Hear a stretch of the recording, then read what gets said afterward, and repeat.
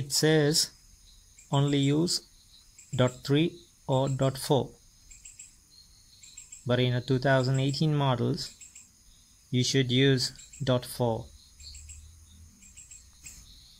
because the bike by default it comes with dot 4 oil.